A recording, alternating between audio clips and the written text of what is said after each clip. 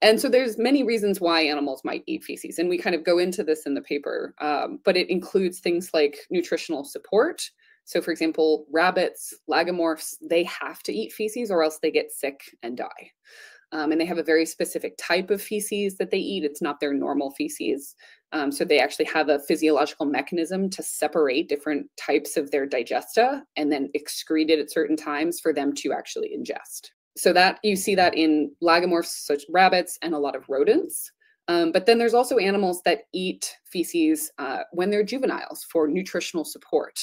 Um, there's also animals that eat feces because they don't have very many nutrients in their environment. So, like cave salamanders eat feces because there's not much else to eat, and it's a fascinating process.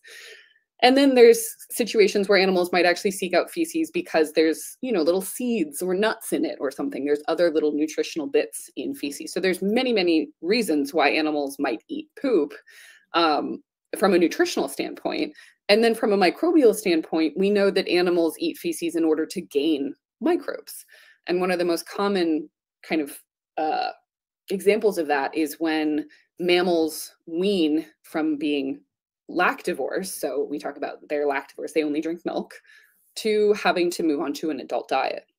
We know from lots of research that the microbes required to digest those two different diets, like a milk based diet versus a plant based diet, for example, are very, very different. So, how does a baby mammal get the microbes that needs to digest, for example, a plant based diet? So, like in an elephant or a, a koala. And one of the one of the answers is they eat mom's feces.